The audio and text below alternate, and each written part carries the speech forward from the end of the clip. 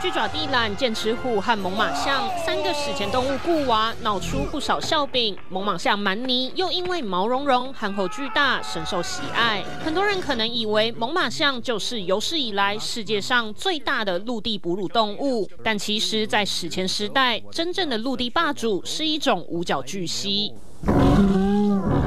没错，就是它，长颈鹿般的脖子，像大象一样粗壮的四肢，因为没有角，比起认知中的犀牛，更像是马来貘或马的祖先。这种巨大五角犀牛主要生活在亚洲，它们的化石曾在中国、蒙古等地发现，推估生存在三千四百万到两千三百万年前。It turns out that it's not the horn that makes a rhino a rhino.